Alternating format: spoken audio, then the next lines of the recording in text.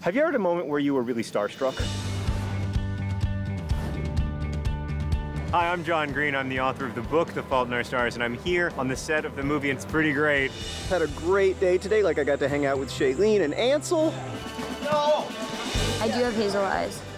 You do? Yeah, That's why they cast you, I assume. it is. It is. They There's were like- so many girls with blue eyes, and they're like, well, they're better, but we need a girl with hazel eyes. So your two faces are making a heart shape. It's super cute. There's a lot of people asking if um, what they call Johnsel is going to be a thing. Yeah, I think it's already. I think it's a thing. It's just absolutely wonderful to watch all of these people working together. We just have so much fun. Laura is now practicing her fake shaving on this disembodied head. Awkward panda. Uh, oh, oh, oh, yeah.